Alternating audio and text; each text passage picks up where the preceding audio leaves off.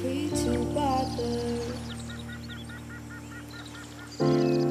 Feel free to bother.